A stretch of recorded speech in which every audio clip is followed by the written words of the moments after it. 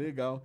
Com relação a seus filhos, é, eu tentei, dentro do canal, criar uma linha de experimentos para crianças. Até Sim. testando se eu tinha o vocabulário né? adequado, a construção. Porque, é, na minha opinião, a criança é um cientista nativo. Que deixa de ser cientista porque a escola trava, às vezes o comportamento dos pais trava. E se a gente puder estimular essa curiosidade infantil, um bebê faz ciência o tempo todo. Ele pega uma coisa, cheira, Eu escuta. bem, eu bem sei isso, Ives. né? Eu tô passando por isso todo. Eu tenho uma filha de um ano e quatro meses. E ela é uma cientista. Eu percebo isso, é impressionante.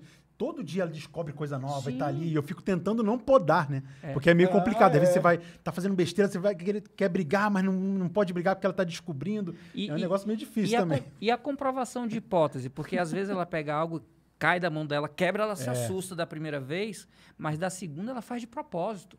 Ela cheira, balança Será e que diz, acontece a mesma isso coisa? é parecido com aquilo. Se eu soltar, faz barulho. É. Aí ela solta e da segunda vez ela comemora. Não porque ela é um bicho destruidor de coisas, porque ela fez uma hipótese, testou a hipótese e viu que estava correto. Então ela comemora. Eu passo por isso todos- na, na veia. Na Todo veia. santo dia eu passo por isso lá em casa. É impressionante. Tudo que o Ives falou é verdade. E sem preconceito, porque à medida que a gente vai acumulando informação, querendo ou não, a gente tem vieses. A gente É aquela história, coloca uma- um bebezinho do lado de uma cobra, ela passa a mão, É. fica Sim. de boa, né? Porque ela- aí quando você começa a alimentar o, o cérebro, né?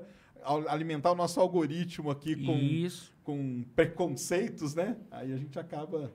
T- Tanto que muita gente defende que existe uma época de ouro dos cientistas ali entre os 20 e poucos anos e os 40 e poucos anos, onde eles produzem muito mais coisas novas do que eles aperfeiçoam à medida que vão envelhecendo. Talvez porque a mente está mais aberta nesse período da juventude científica deles, né? Sim, com certeza, né? Tá fresco, né? Tá fresca É. a mente ali, né?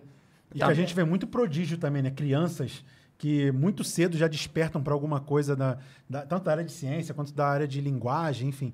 É, você percebe desde muito cedo que a criança tem uma habilidade ali específica. É e, isso que falam, né? Você quer ensinar a aprender línguas, ou seu filho É. logo cedo que ele vai né, disparar, né? Sim, sim, sim, sim. Isso aí eu é- estou pretendendo, inclusive, colocar minha filha em colégio bilíngue, essas coisas, para exatamente estimular essa, essa área da, da linguagem no cérebro, que está Isso. muito efervescente ali, né? Nessa época do, Isso, da, isso é da muito vida dela. interessante. E se ela herdou de você, porque você aprendeu tudo sozinho na marra e fala três idiomas bem e entende mais dois ou três também, né? Então, se ela herdou essa habilidade de alguma forma genética, estimulada, ela vai A parte do show. idioma, eu não sei se ela herdou, não, mas que ela fala pelos cotovelos, fala. legal, legal demais.